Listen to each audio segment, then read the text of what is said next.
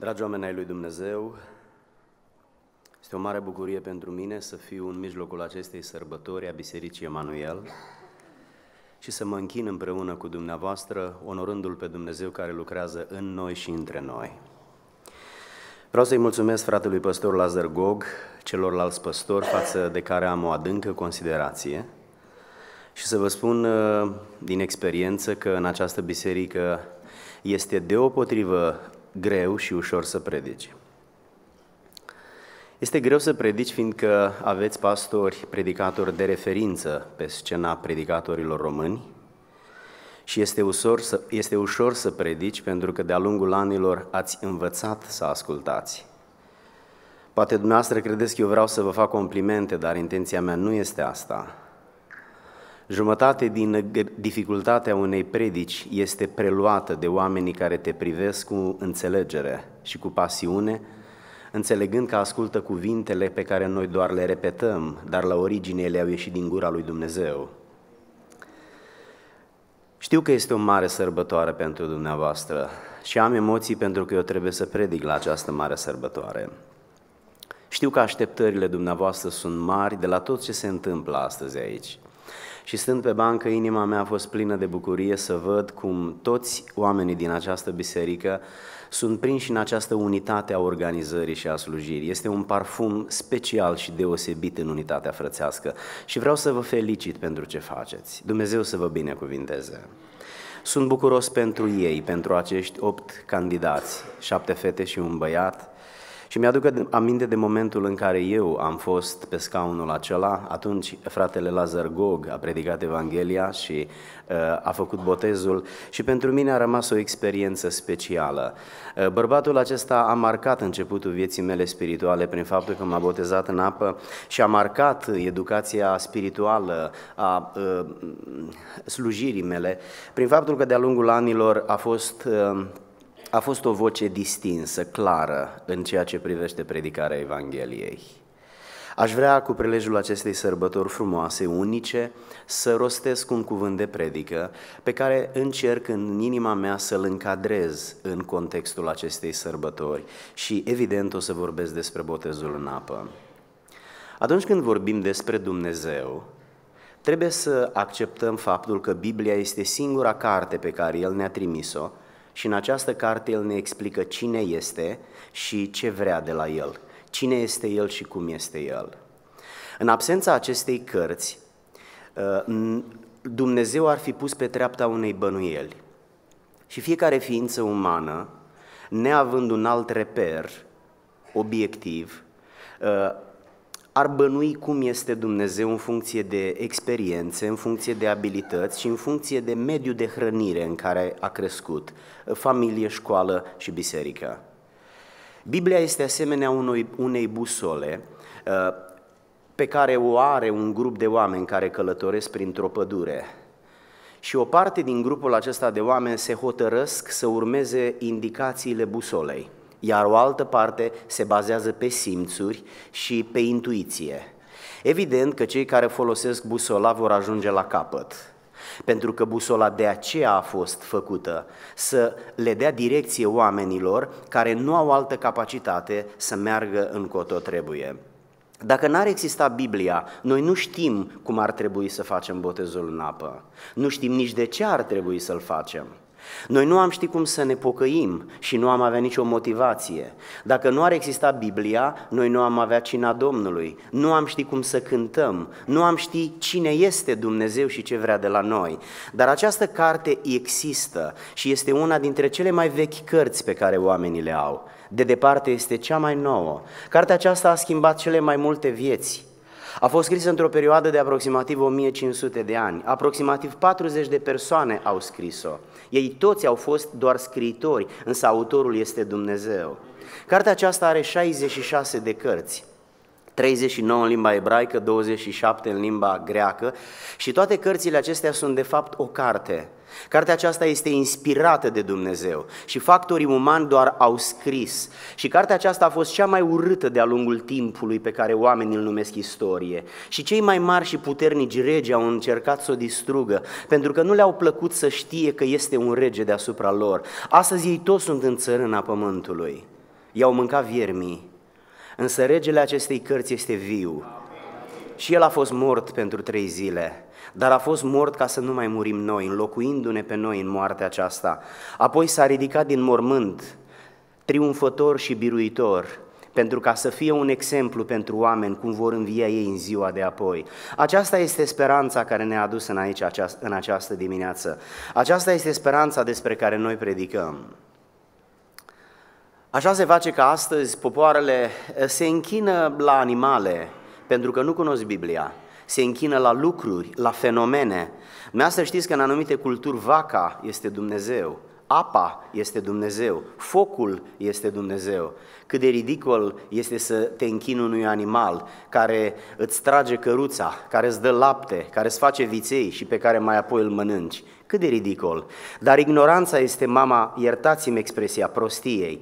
Este un mare har ca să ai Biblia, să o citești, să o înțelegi și să lași cartea aceasta să îți îndrepte gândul înspre Dumnezeu, să-ți, zămis, să-ți rezămizlească sufletul și să te învețe că există un Dumnezeu care te-a creat. Și atunci când îți vei pune mâinile pe piept, viața, sufletul, Duhul acesta care iese din trup în experiența numită de noi moarte, se duce înapoi la Dumnezeu. Dumnezeu. Biblia definește creștinul drept persoana care răspunde inițiativei divine salvatoare, crezând în Isus Hristos și ascultând de Dumnezeu. Creștinul nu este omul care s-a născut într-o altă țară decât într-o țară musulmană sau hindusă. Creștinul nu este un individ care s-a născut într-o țară creștină. Creștinul este omul care s-a născut oriunde, dar la vârsta la care are capacitatea să deosebească binele de rău, aude mesajul Evangheliei ce poartă inițiativa iertării în mila lui Dumnezeu și înțelege că Dumnezeu a pregătit mântuirea, iar el trebuie să o primească, mântuirea aceasta fiind indispensabilă ca și aerul, hrana sau odihna prin somn. Oamenilor le este ușor să creadă în Isus, dar le este greu să asculte de El. Să crezi în Isus este un eveniment care înseamnă acceptarea intelectuală că Dumnezeu există. Ce îngăduitor suntem să acceptăm că există și Dumnezeu. Credința este acceptarea intelectuală să accepti că există Isus Hristos, dar să asculți de El este diferit de să accepti că El există. Să accepti că există Dumnezeu nu-i mare lucru pentru că nu te deranjează cu nimic și nu te obligă cu nimic. Dar atunci când asculți de Dumnezeu, iei un cec, îl semnezi și îl dai și îi spui așa, poți să pui aici orice sumă că eu plătesc. Este un angajament făcut în alb și angajamentul acesta este cam așa. Mă angajez de astăzi înainte pentru restul vieții mele ziua și noaptea, la bine și la greu să te urmezi indiferent în ce direcție te vei îndrepta tu. Să urc oricât de greu îmi va fi să urc. Să fac tot ceea ce te vei aștepta de la mine, indiferent de prețul pe care va trebui să-l plătesc făcând lucrurile astea. Să-mi cheltui toate resursele existenței sufletului meu pentru onoarea ta, oricât de mult m-ar costa asta. Oriunde îmi vei spune să merg, voi merge. Ori de câte ori îmi vei spune să tac, o să tac. Ori de câte ori îmi vei cere să vorbesc, o să vorbesc. Și orice îmi vei spune să fac ziua și noaptea, voi face fără să mă gândesc dacă este bine sau rău. Voi face doar pentru că îmi cer tu. Nu o să mai iubesc pe nimeni altcineva așa cum te iubesc pe tine. O să respir pentru ultima oară în cinstea ta și nu o să fac nimic altceva care știu că nu-ți place și nu te onorează. Asta înseamnă să asculți de Dumnezeu. Lucrul acesta înseamnă să renunți la tine. Înseamnă să nu-ți mai placă nimic în absența Lui. Înseamnă să nu faci nimic altceva decât lucrurile care împlinesc interesele din împărăția sa. Cea mai serioasă chestiune pe care am experimentat-o este să-L cunoști pe Dumnezeu și să-L urmezi. Cel mai serios lucru la care am participat vreodată în cei 50 de ani pe care mi-a dat Dumnezeu este să-L cunosc pe El și să-L urmez, să merg în cadența, în ritmul pașilor Lui și să înțeleg că lucrul acesta are efecte în eternitatea unde sper din toată inima mea să ajung. Mă bucur de tinerețea voastră pe care o închinați Domnului astăzi și mă bucur că vă asumați nebunia să încheiați un legământ cu Dumnezeu, pentru că aceasta va rămâne misiunea voastră pentru fiecare zi. Astăzi, în ziua asta, cu ocazia sărbătorii voastre, aș vrea să spun câte ceva despre botezul în apă. Două luni, dacă ar trebui să vorbesc despre asta, aș face doar o scurtă introducere. În 20 sau 40 de minute înseamnă că doar o să spun câteva cuvinte. Atunci când vorbim despre credința în Dumnezeu, trebuie să spunem următoarele lucruri. Să crezi în Isus este foarte relativ. Și nu te costă prea mult. Toată lumea crede în Dumnezeu. Și mamele care își ucid copiii nenăscuți cred în Dumnezeu. Și oamenii care își consumă banii pe alcool și pe droguri cred în Dumnezeu. Toți oamenii cred în Dumnezeu. Credința în Dumnezeu este un fenomen universal. Omul nu poate să nu creadă în Dumnezeu, după cum nu poate să nu respire. Dar numai că Dumnezeu este ceea ce vrea El. În absența Bibliei, Dumnezeu este ce vrem noi. Atunci când apare Biblia pe scena mentalității unui om, această mentalitate dintr-o dată capătă forma voii lui Dumnezeu, exprimată în Biblie. Fără Biblie, Dumnezeu este ce vrei dumneata. Biblia face ordine în viața unui om. Biblia dă direcție unui om. Altfel el crede în Dumnezeu, dar își face de cap. Își cheltuie tinerețea și viața de adult pe lucruri care îl satisfac pe el și care îl dezonorează pe Dumnezeu. Dar el nu știe lucrul acesta, pentru că mintea lui nu-i luminată de Evanghelie, ci este întunecată de patimile care îl, mân, care îl mână, care îl direcționează dintr-o parte în alta. Să asculți de Isus este foarte concret, nu-i relativ. Este foarte măsurabil, pentru că presupune să-L urmezi pe Domnul după indicațiile scrise în carte. Când nu ai GPS, te duci pe unde îți place. Te duci, te întorci, mai încerci odată. Când ai GPS, auzi vocea la stânga și pur și simplu te duci la stânga. Și după aceea spune la dreapta și pur și simplu te duci la dreapta. Nu trebuie decât credință, nu ai nevoie de prea multă inteligență, că îți spune în limba pe care o cunoști. Îți trebuie doar credință, dar nu e simplu să te iei după el, că uneori ai impresia că te duce în direcție opusă. În contextul românesc, a fi creștin este asociat cu nașterea. Uh, prin naștere oamenii devin creștini. Pur și simplu se nasc pe meleagurile românești și oricine se naște în România devine creștin. Acum să nu vă supărați pe mine, dar dacă un copil se naște într-o familie de ingineri, se naște inginer? Mă gândesc că nu. Nu, el se naște copil și devine ceea ce va deveni el, ceea ce va vrea el. Simplu fapt că ne naștem în România, credeți-mă că nu ne face creștini, ne face români, ne face oameni. Creștinismul este o alegere personală. Este o alegere absolut personală.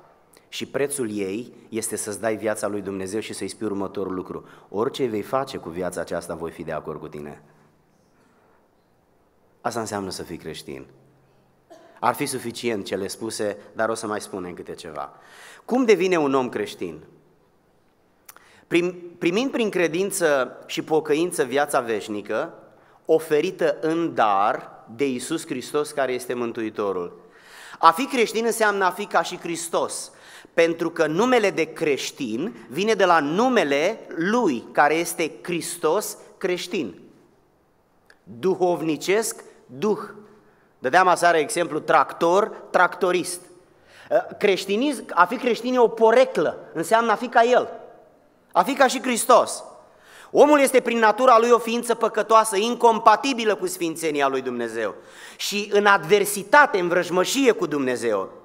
Hristos este Dumnezeu Fiul, care s-a întrupat prin Fecioara Maria pe pământ, cu misiunea să devină mântuitorul oamenilor și să-i mântuiască, să-i scuze pe oameni înaintea lui Dumnezeu, plătindu-le datoria. Noi purtăm în inima noastră amenda, iar amenda aceasta este moartea capitală pentru că am trecut pe roșu la intersecția vieții. Și sunt de îndați în urmărire generală de mânia lui Dumnezeu, care e ofensată de starea noastră de păcat. Și noi trebuie să ne plătim amenda aceasta. Cu 2000 de ani în urmă a apărut pe scena istoriei, născându-se într-un mod inexplicabil, miraculos, doar din fecioară, așa ceva nu s-a mai auzit. Dumnezeu Fiul și-a devenit om El a murit pentru noi, noi nu trebuie să mai murim, noi nu trebuie să mai plătim amenda, a plătit-o El. Trebuie doar să ne însușim acest merit pe care El ni l-a adus murind în locul nostru. Pedeapsa divină pentru păcat era moartea, după cum pedeapsa pentru că treci pe roșu la intersecție este probabil 100 de dolari. Nu știu, n-am fost niciodată amendat pentru că am trecut pe roșu. Ei, tot la fel, atunci când treci pe roșu ești amendat, tot la fel ești amendat pentru că ai păcătuit. Nu e normal să fii amendat că treci pe roșu? Câți oameni nu mor că trecând pe verde, vine cineva care trece pe roșu, ori a adormit, ori a murit, ori n-are minte. Și îl omoară pe bietul om în timp ce trecea regulamentar pe verde. nu e normal să plătești amendă dacă treci pe culoarea roșie a semaforului. E, e polițistul rău că te amendează? Nu! Dar de ce Dumnezeu e rău dacă oamenii merg în iad plătindu-și datoria că au păcătuit?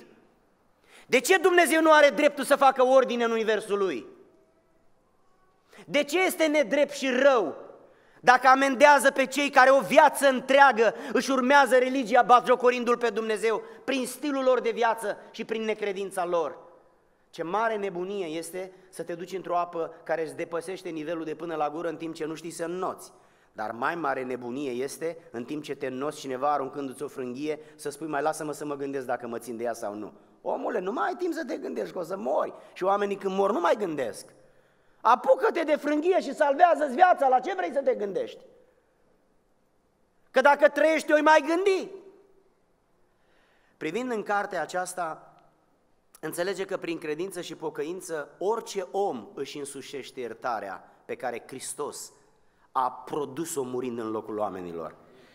Credința este o încredere nelimitată și necondiționată în Hristos și în cuvântul său din Biblie.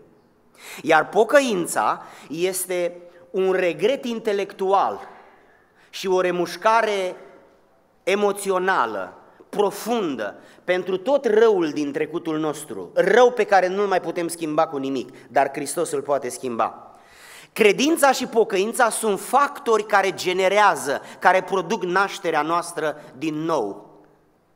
În concluzie, Hristos a murit pentru noi, iar noi trebuie să-L acceptăm pe El și împreună cu El mântuirea lui Dumnezeu. Această mântuire oferită de Dumnezeu omului care crede și se pocăiește nu poate fi realizată de om. Un om nu se poate ierta pe sine. Un om care nu știe să înnoate și a căzut într-o apă adâncă nu se poate salva pe sine. Este nevoie de cineva care să aibă milă de el și să-l poată salva. Acesta se numește Mântuitorul celui care era gata să se nece. Noi nu ne putem salva pe noi din păcat. Cum te duci înapoi în istoria celor 50 de ani să-ți ierți păcatele pe care le-ai făcut? Este imposibil. Dar Hristos a murit pe cruce și pedeapsa pentru păcat care e moartea, El deja a acceptat-o de 2000 de ani. El a plătit-o de 2000 de ani. Este veche mântuirea noastră, trebuie doar să o acceptăm. Nu suntem răi pentru că am păcătuit. Suntem răi pentru că nu acceptăm iertarea pentru păcatele care le-am făcut. Acceptând în felul acesta să rămânem în păcatele pe care le-ai făcut. Biblia ne spune următorul lucru. Prin har ați fost mântuiți, prin credință, Efesen 2, 8 la 9. Și aceasta nu vine de la voi. Să nu vă mai credeți așa de buni. Cu tot respectul, putem fi buni intelectual, putem sclipi, putem fi buni profesional, să iasă din mâna noastră artă, Putem fi buni familiști, putem fi buni sportivi, putem avea abilități, însă niciodată nu ne putem mântui, aceasta nu vine de la noi. Este darul lui Dumnezeu ca să nu se laude nimeni. Efeseni capitolul 2, versetele 8 și 9. Să nu se laude nimeni. Hristos a murit pentru noi, nu noi. Hristos ne-a mântuit, nu doar primim mântuirea sa, Hristos scrie în Biblie, cine va crede și se va boteza, va fi mântuit. Dragii mei, cine va crede și se va boteza, va fi mântuit. Cine va crede și se va boteza, va avea problema rezolvată. Ceva de genul cine va mânca bine și apoi va bea apă, se va simți confortabil. Dacă mănânci bine și nu bei apă, aproape mai bine că nu mănânci, că după ce mănânci e grozav de sete, mai sete decât înainte să mănânci. Aceste două lucruri trebuie făcute împreună. Așa spune Evanghelia. Reperul nu este mintea mea, logica mea și tradiția mea. Reperul este cartea lui Dumnezeu. Pentru că această carte ne-a fost dată ca o busolă ca să ne dea direcție. Privind în Biblie, înțelegem că această credință înseamnă acceptarea lui Hristos în propria viață și predarea acestei vieți în mâna Lui. Asta înseamnă să crezi în Dumnezeu. Iar botezul în apă înseamnă mărturia publică a credinței care este în inimă. Botezul în apă este ceva exterior care vorbește despre ceva interior. În concluzie, botezul în apă mărturisește despre credința în Dumnezeu. Cum să mărturisească un om despre credință dacă nu o are? Și cum să nu mărturisească un om despre credința care o are dacă ea este în inima lui. De aceea sunt pereche credința în Dumnezeu și botezul în credință. Dacă credința noastră în Hristos nu ne conduce la ascultare de El, unde este această credință și cum o putea noi dovedi? Credința întotdeauna te pune în situația să asculți de Dumnezeu. Dacă nu crezi în Dumnezeu, unde-i credința? Dacă credința pe care o ai nu te-a adus la Domnul de care să asculți, asta înseamnă că trebuie neapărat să schimbi credința aceea că este falsă. Poți să mănânci și să nu te saturi? Asta înseamnă că n-ai mâncat deja. Atunci când omul mănâncă, îi trece foamea. Poți să crezi în Dumnezeu și să nu-L asculți pe El? Este imposibil. Atunci când vorbim despre botezul în apă, trebuie să, să punem o întrebare. Ce este botezul în apă? E un obicei? E o liturghie a Bisericii Emanuel sau a Bisericilor Evanghelice? Ce anume este botezul în apă? Biblia spune că Isus a afirmat, cine crede și se botează va fi mântuit. Nici apa și nici botezătorul nu sunt instrumentele Harului Divin, ci propria credință. Apa, să știți că este de la robinet, este o apă obișnuită. Iar botezătorul nu va transfera nimic divin asupra celui ce se va boteza. Dacă nu sunteți credincioși lui Dumnezeu și nu v-ați pocăit, va fi o baie publică, atât. Botezul acesta are valoare doar atunci când credeți puternic că Isus este Fiul lui Dumnezeu. Și când vă angajați ca El să vă conducă viața restul zilelor până la ultima, atunci baia aceasta este una diferită, numită botez, un angajament al vostru cu Domnul Isus Hristos. Este o chestiune între voi și Dumnezeu.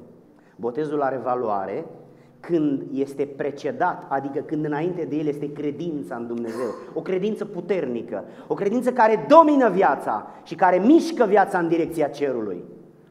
Ce este botezul în apă? Botezul creștinului în apă este mărturisirea în chip vizibil a unor realități spirituale precum credința, care sunt invizibile, care au avut loc în momentul mântuirii, în momentul nașterii din nou. Haideți să vorbim puțin despre ce mărturisește botezul în apă, de ce e nevoie să-l facem. Prin botezul în apă, omul mărturisește că a ales voluntar și conștient să-L urmeze pe Iisus Hristos, și mărturisește că acceptă să iasă din lume, lume însemnând nu oameni, ci sistemul acesta anti-Dumnezeu, promovat de diavolul și susținut de instinctele primare ale omului, a accepta să iasă din lume și să nu mai trăiască în prezența păcatului. Botezul în apă e momentul în care aceste o persoane vor mărturisi că de astăzi înainte nu se vor mai simți confortabili să trăiască în păcat să mintă și să fure, să-L necinstească pe Dumnezeu. Și nu vor mai permite vieții lor să trăiască în absența lui Dumnezeu. Îl vor căuta pe Dumnezeu și vor trăi în prezența Lui. Vor fugi din locurile unde Dumnezeu nu există și nu vor mai repeta niciodată faptele de rușine în care altădată își găseau plăcerea, când aveau mintea neluminată de Evanghelia lui Dumnezeu. Prin credință, un om acceptă moartea Domnului Isus Hristos ca plată a păcatelor sale. Este ca și cum eu am o amendă de plătit și nu am banii să o plătesc. Și atunci unul dintre frații păstori, care vor să aibă milă de mine și să-mi facă un bine, îmi spun, dăm tichetul și fii liniștit, eu mă îngrijesc de el. Și pur și simplu oamenii aceștia suportă ceea ce trebuia să suport eu, iar eu sunt liber. Ce mare har! Ce fel de om ar trebui să fiu eu să nu mă bucur de onoarea că cineva și-a asumat să se cheltuiască pentru mine. Nu botezul îi dă omului viață veșnică, ci botezul doar declară că el are viață veșnică. Botezul e o mărturie, botezul este o confirmare publică. În al doilea rând, prin botez, omul mărturisește că a scăpat de pedeapsa pe care o merita. Merita cineva să fie pedepsit cu o amendă pentru că a trecut pe roșu. Botezul în apă dovedește că el e scăpat, că el nu trebuie să mai plătească amenda. Evident, a plătit-o cineva, dar nu cel care a trecut pe roșu, a plătit-o Iisus Hristos. Câte păcate sunt iertate de Domnul în viața unui om? De câtă rușine am scăpat eu când m-am pocăit? Ce groază mi este că cineva va ști vreodată tot răul pe care l-am făcut eu înainte să-L cunosc pe Dumnezeu. Dar toată rușinea aceasta care este imensă și de-a dreptul foarte murdară, pur și simplu El mi-a luat-o ca și cum meritam. Și mi-a dat în schimb toată puritatea pe care o are El, Fiul lui Dumnezeu. Și pur și simplu astăzi eu am ce n-am avut, am ce mi-a dat El. Dacă El n-ar fi avut milă de mine, eram un om mizerabil și foarte murdar iar viitorul meu era un timp nesfârșit în care ar fi trebuit să-mi plătesc prin propria moarte amenda că am trecut pe roșu la intersecția vieții. Botezul în apă este o mărturisire, în primul rând a faptului că cel care se botează l-a ales pe Domnul și respinge lumea, alegerea lui Dumnezeu este un eveniment și devine un proces. Și în al doilea rând mărturisește că a scăpat de pedeapsa care îi se cuvenea, care era a lui. De asemenea, prin botezul în apă, omul mărturisește că toate păcatele lui au fost spălate.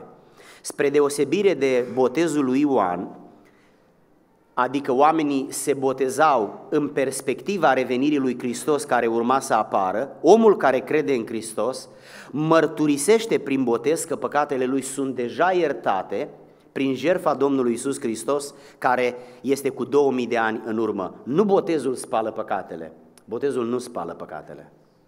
Ar fi simplu să spele botezul păcatele, dar nicăieri în Scriptură botezul nu are rolul să spele păcatele, ci Biblia spune că sângele lui Isus spală păcatele.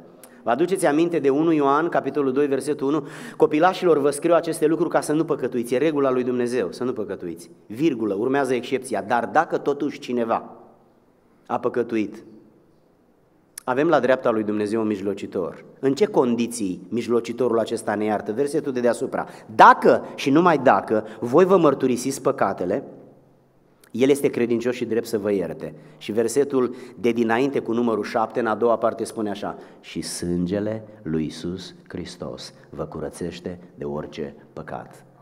Dacă Domnul n-ar fi murit pe cruce, păcatele noastre nu puteau fi spălate cu altceva decât cu sângele său. De aceea avem nevoie de el, pentru că împreună cu el avem mântuirea lui Dumnezeu în viața noastră. Prin botezul în apă, omul mărturisește că a fost pus în Hristos, a murit împreună cu Hristos. Ăsta e momentul în care botezătorul, pastorul, bagă pe candidat în apă. E ca și cum el ar muri. Ăsta este simbolul când dispare sub apă. Ați văzut că îl scufundă, nu îl stropește. Practic asta a apărut cândva în istorie, prin secolul 6 și uh, a devenit o lege a bisericii cam prin secolul 12, după Marea Schismă din 1054. Apoi, el înviază împreună cu Hristos când îl ridică din apă și el trăiește împreună cu Hristos. Prin botezul în apă, omul mărturisește că este gata să sufere pentru Domnul dacă va fi nevoie. Să se abțină de la lucruri care îi plac dacă va fi pus în situația aceasta. De ce trebuie să se boteze omul care crede? Nu-i suficientă credința? Răspunsul este răspunsul Bibliei. În primul rând pentru că Isus a botezat. Vă aduceți aminte de Matei capitolul 3? O să citesc câteva versete. Atunci a venit Isus din Galileea, la Iordan, la Ioan, ca să fie botezat de Ioan. Ioan când mi-a înțeles intenția, căuta să-l oprească și îi spunea ca și argument, eu am trebuință să fiu botezat de tine și tu vii la mine să te botezi eu? Drept răspuns, Iisus i-a zis, Ioane, lasă-mă acum că așa se cade să facem tot ce trebuie făcut. Lasă-mă, Ioane, că se cade să facem tot ce trebuie făcut. Mă uit la dumneata și dumneata știi că eu nu te cunosc. Dar vreau să spun o întrebare. E întrebarea unui om care te iubește în Hristos. Pentru dumneata nu se cade să te botezi? Dacă Isus a spus că se cade să mă botez și a fost Fiul lui Dumnezeu, pentru dumneata un simplu muritor care de-abia mai bate inima și mâine s-ar putea să nu mai prinzi răsăritul soarelui, pentru dumneata nu se cade? Dacă pentru Fiul lui Dumnezeu a fost obligatoriu, pentru dumneata un număr dintre cele șapte miliarde de numere, pentru dumneata nu se cade. Credința care o ai nu ajunge până la nivelul să-L urmezi pe Cel care merită să fie urmat, numit Fiul lui Dumnezeu Iisus Hristos? Dacă Iisus nu și-a permis să treacă peste, pentru că ar fi încălcat o poruncă a lui Dumnezeu, dumneata un simplu muritor, candidat la moarte mâine poi mâine, îți permiți să încalci porunca lui Dumnezeu? Nu te gândești că într-o zi vei sta într-un eveniment, într-un eveniment numit Marea Judecată și El îți va pune o întrebare simplă la care nu va exista răspuns. Cum ți-ai permis să calci conștient voia mea în timp ce ai participat la foarte multe evenimente, când ai citit cu ochii tăi sau ai auzit cu urechile tale despre obligația față de Creator, nu față de o biserică, de a te boteza pentru că este o poruncă, trebuie, trebuie. Hristos a spus, nu se cade să trec pe lângă, trebuie să trec prin, prin experiența botezului în apă. Ioan a vrut să-l împiedice și pe noi, tot felul de evenimente sunt gata să ne împiedice. Poate prietenii care pun presiune pe noi, poate o anumită poziție care nu e incompatibilă cu declarația publică că ești un creștin născut din nou, poate membrii familiei, poate alte lucruri care nu sunt în stare să le surprind. Dar ce importanță are pe Hristos? Nimeni nu l-a putut opri și dacă trebuie, trebuie. Trebuie să ne botezăm pentru că Isus a botezat. Trebuie să ne botezăm pentru că Isus a poruncit după ce s-a botezat să se boteze toți cei care sunt ai lui. Așa spune Scriptura. Duceți-vă și faceți ucenici din toate neamurile, botezându-i numele Tatălui, al Fiului și al Duhului Sfânt. Faceți ucenici și apoi botezați Catehizați, învățați instruiți și apoi botezați Este porunca lui Dumnezeu. Pastorul Lazar Gog este un om foarte cunoscut. De asemenea, fratele Druhora și ceilalți pastori. Dar oricât de popular ar fi un om, nu are niciun drept să anuleze o lege pe care a dat-o Dumnezeu. Și dacă Iisus Hristos a spus că cei care cred trebuie să se boteze, în această, în această dimineață bordul pastoral de la Biserica Emanuel au hotărât să împlinească porunca lui Dumnezeu și au organizat evenimentul acesta. Au crezut și urmează să se boteze. Hristos a spus, cine crede cum au crezut ei și cine se botează prin credință după cum se vor boteza ei, va fi mântuit. Scumpii mei, puteți să plecați acasă bucuroși când se va termina evenimentul, pentru că sunteți niște oameni mântuiți. Hristos v-a mântuit. Să dormiți liniștiți, să nu vă speriați nici de viață, nici de moarte, pentru că cine este în mâna lui Dumnezeu fiind mântuit, este protejat de armata cerului, care are componenți nesfârșiți, nu ca armata americană. Nu duce lipsă, are toate resursele infinite la dispoziție. Această armată a cerului se va îngrămădi în jurul vostru ca să vă păzească, pentru că cetățenia voastră este mai mult decât o cetățenie americană.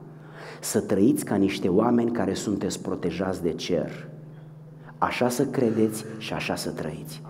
să fiți responsabili de această onoare, să nu vă simțiți niciodată singuri, că îi veți face pe îngerii din jurul vostru să se simtă inutili. Și în plus, să onorați prezența lor prin siguranța voastră că sunteți păziți de puterea lui Dumnezeu. Să vă încredeți în Domnul, El se îngrijește de voi. Voi trebuie doar să vă faceți partea, să credeți și să vă botezați, iar El își va face partea să vă mântuiască. Aceasta este angajamentul cerului. De asemenea, noi trebuie să ne botezăm pentru că Domnul Isus a botezat, pentru că Domnul Isus a poruncit botezul și pentru că apostolii au poruncit botezul. Când în ziua mare a cinzecimii Petru stă în mijlocul oamenilor și le vorbește despre evenimentul rusalilor, explicându-le ce se întâmplă și vorbind despre faptul că profeții de demult acum se împlinesc prin venirea lui Dumnezeu Duhul Sfânt care aplică mântuirea organizată de Tatăl și realizată de Fiul, oamenii aceștia sunt străpunși în inima lor. Au fost niște oameni sinceri, fraților. Când au auzit că vine trenul, au fugit de pe calea ferată ca să nu-i omoare. Asta înseamnă credință.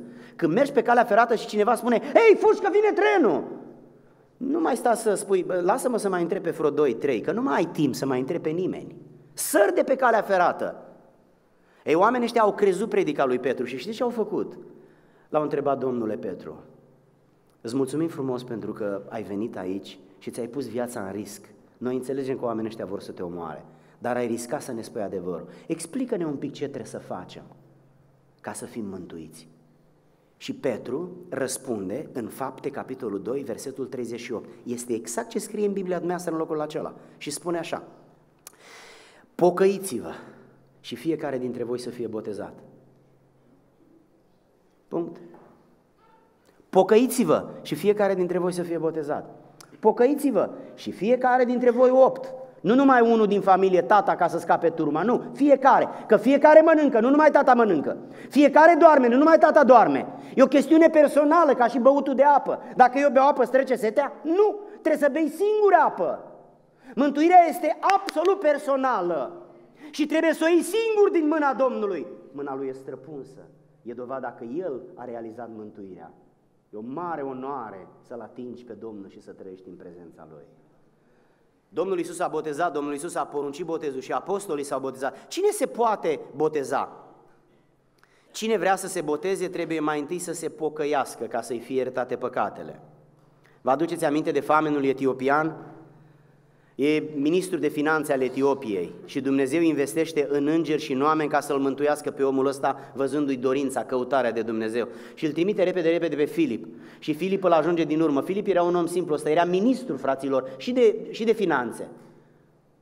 Mie niciodată nu mi-a plăcut matematica și întotdeauna am dezvoltat o mare admirație pentru oamenii care se pricep la treaba asta. Nu știu cum se pricep la lucrul ăsta, nu pot să-mi dau seama. Niciodată n-am înțeles lucrul ăsta. Ei bine, acest om simplu se duce pe lângă ministrul de finanțe care citea în Biblie și își permite să-i pună următoarea întrebare. Înțelegi ce citești? Auzi tu? Tu, un om care probabil n-ai decât 3-4 clase, te duci la ministrul de finanțe al Americii în timp ce citește o carte și îți permiți să-i pui cea mai ridicolă întrebare de sub soare. Nu te supăra, individule, cam înțelegi ce citești. Auzi tu? Cam ce merita să-i răspundă ministrul? Dar știi și ea răspuns? Nu, nu înțeleg. O asemenea smerenie eu nu prea mai întâlnit pe paginile Bibliei. Că mulți oameni nu înțeleg, dar nu recunosc. Că după ce e adevărat să mai și recunoști, și Biblia ne spune că omul ăsta s-a urcat în mijlocul lui de transport și a început să-i vorbească. Cam despre ce subiect credeți dumneavoastră că era cel mai potrivit să-i vorbească? Că nu avea mult timp.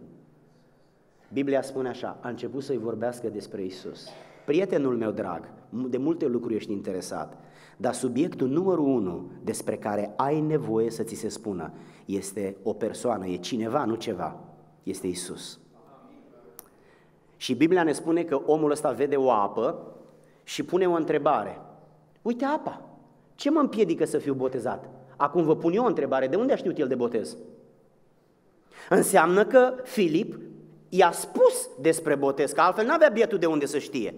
Dar botezul e așa de important încât după ce îi spui despre Isus, în al doilea rând să-i spui despre botez, evident, credința în Isus și manifestarea publică a credinței, care e botezul în apă. Scumpii mei, să știți că faceți exact ce trebuie.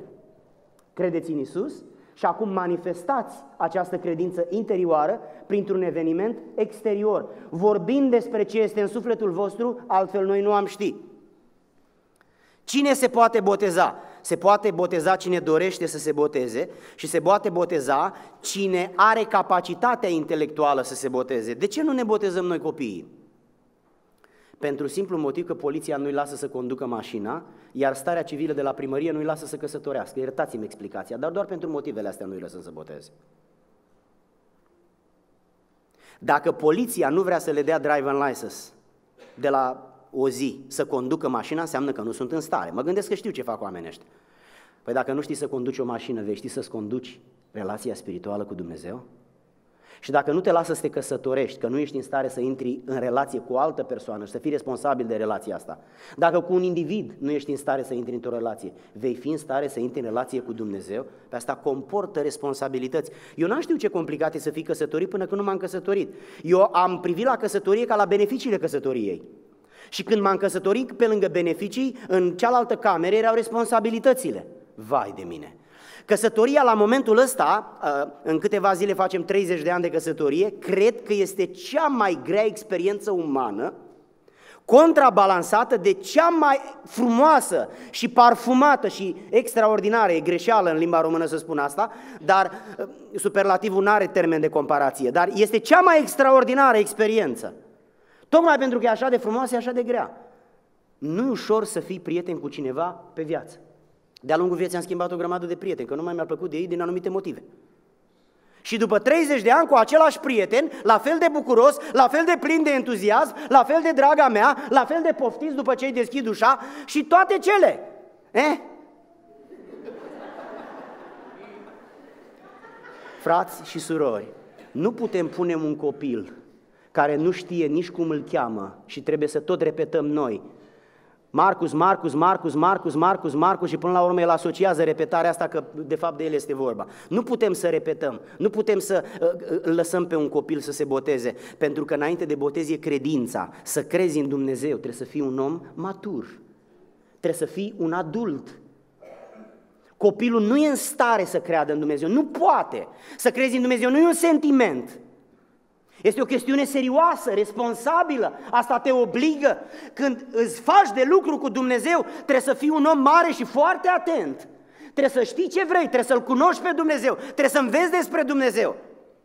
Practica botezului copiilor mici a fost introdusă când nu mai veneau oamenii la biserică și când regii au hotărât metoda aceasta ca să-i facă pe copii să fie creștini în momentul în care sunt inconștienți. Spun o întâmplare și încheie, e imaginară întâmplarea. Imaginați-vă că este o familie și e familia pe care o cheamă familia numărul 1. Și undeva în vecinătate stă o altă familie pe care o cheamă familia numărul 2. Și familia numărul 1 au o fetiță, au născut-o de ceva timp, mm, câteva luni. Familia numărul 2 au un băiețel de un an de zile. Și când familia cu numărul 2 văd că familia numărul 1 tocmai au făcut o fetiță, îi sună și spune vrem să avem un, un dinner cu voi. Vă poftim la noi. Se întâlnesc, mănâncă, iar după aceea spune domnilor, noi avem un mare respect pentru voi. Credem că fata voastră e la fel de deșteaptă ca tine și se uită la taică și la fel de frumoasă ca tine și se uită la maică sa. Și spune, uite ce m-am gândit. M-am gândit să ne căsătorim copii. Să ne căsătorim copii? Da. Cum? Pur și simplu îi căsătorim și nu spunem la nimeni până când se vor face mari, zis și făcut. Și fac soț și soție. Când fac amândoi aproximativ 20 de ani, îi cheamă la un alt dinner, acum ei sunt puțin mai în vârstă, și după ce mănâncă le spune tinerilor, vrem să vă spunem un secret. Voi sunteți căsătoriți. Poftim?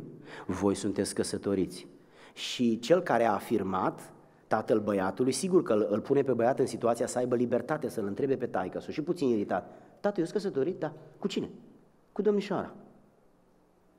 Cu domnișoara? Dar să nu vă supărați, nu-mi place de ea. Matale, tată, ai avut dreptul să-ți alegi fata care ți-a plăcut. Cum ți-ai permis să mă predestinezi pe mine cu fata asta? Că mie nu-mi place fata asta, mie îmi place o fată blondă, nu brunetă, sau invers. Brunetă, nu blondă. Mie îmi place una mai înaltă, nu măruntă, sau măruntă, nu înaltă. Tată, cum ți-ai permis să hotărăști cu cine o să mă căsătoresc eu? Asta este privilegiul meu. Este dreptul meu, tată. Trebuie să-mi dai dreptul acesta pentru că mi l-a dat Dumnezeu. Tu cum, cum te-ai căsătorit, tu cu cine ai vrut și cu cine ți-a plăcut.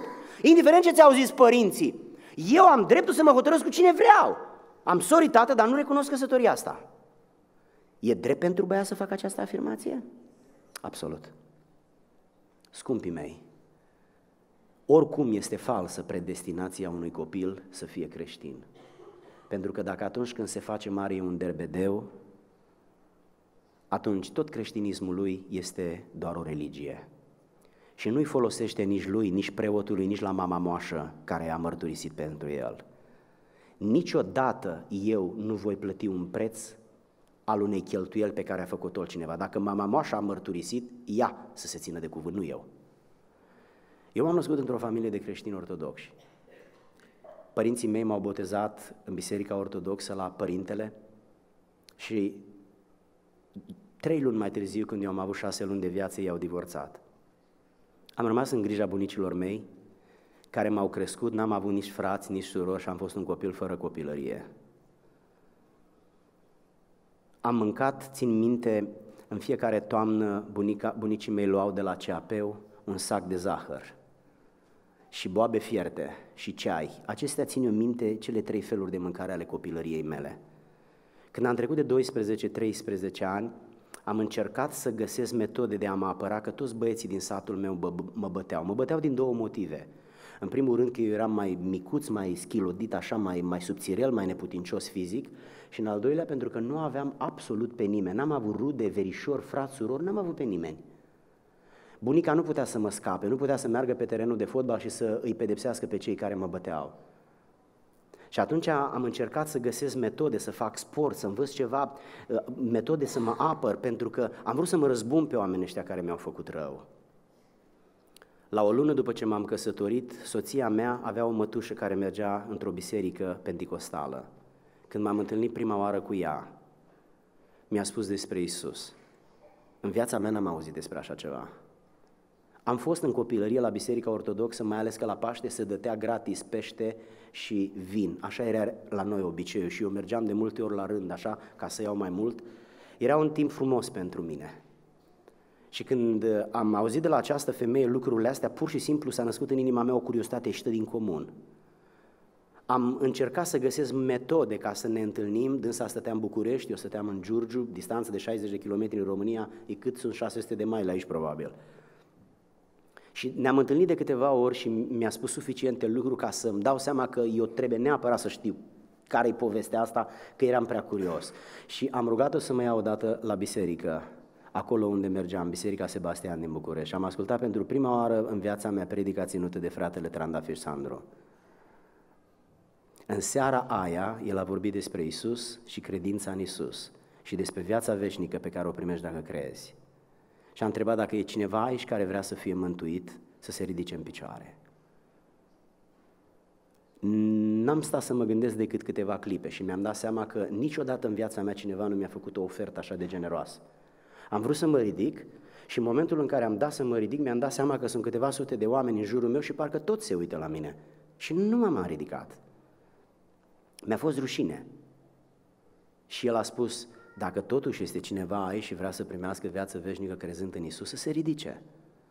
În mintea mea am spus, Doamne, dacă cineva s-a ridicat înaintea mea să nu fiu primul, oamenii ăștia vor crede despre mine că cine știe ce probleme am. Mi s-a părut, eram undeva acolo, mi s-a părut că aici unde era soția mea, cineva s-a ridicat, am țâșnit în picioare și plângeam ca un copil. M-am simțit atât de murdar și atât de necinstit în sufletul meu. Să-L necinstesc eu pe Dumnezeu care 21 de ani mi-a purtat de grijă. Am avut o copilărie foarte grea și plină de riscuri plină de lipsuri și de nevoi.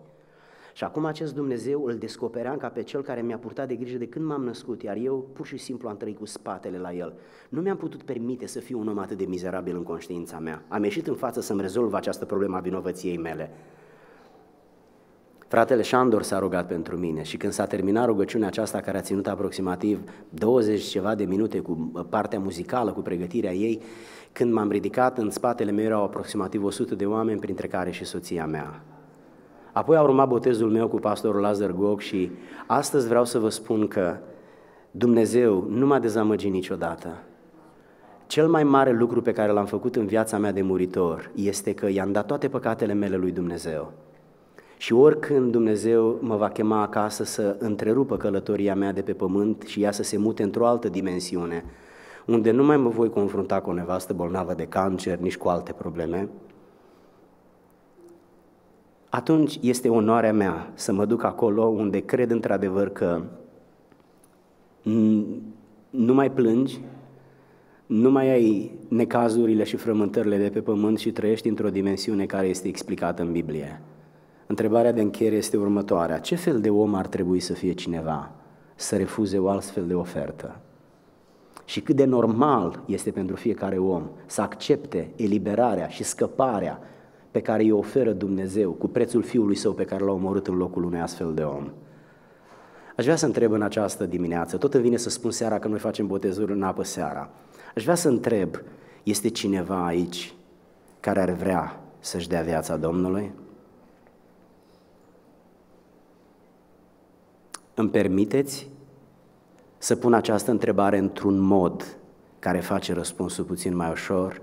O să vă rog doar pentru 30 de secunde, absolut toate persoanele care sunt aici, sunteți aici, să vă închideți ochii, să vă aplecați capetele și să vă rugați.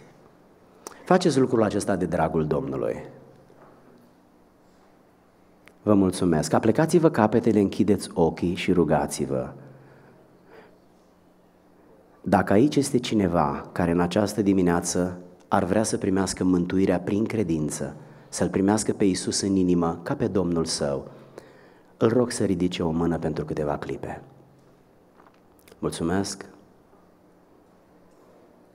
Mulțumesc! Mulțumesc! Mulțumesc! Mulțumesc! Vă invit să vă ridicați. Tată din ceruri, îți mulțumim pentru cuvântul tău puternic pentru dragostea ta infinită. Mulțumim pentru cruce, locul unde ne-ai spălat rușinea. Mulțumim pentru biserica aceasta în care Tu domnești și pentru aceste o persoane, dar îți mulțumim pentru oamenii care au ridicat mâna, gestul acesta convențional, spunând că ei vor să primească mântuirea Ta. Îi mărturisim înaintea Ta și Te rugăm potrivit credinței și pocăinței din inima lor, iartă-i, Doamne, în numele lui Isus intră în viața lor și mântuiește-i și prin ei intră în casele lor și în cercul lor de prieteni. Îi încredințăm în mâna ta pe ei, pe noi și îți mulțumim că ne-ai ascultat în numele Domnului. Amin. Lăudați să fie Domnul!